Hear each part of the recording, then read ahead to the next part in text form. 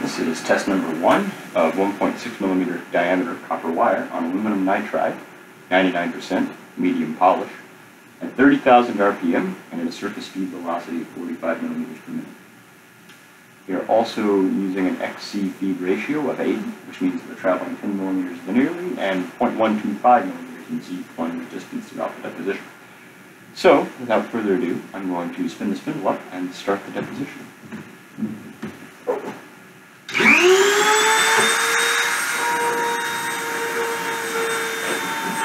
Contact.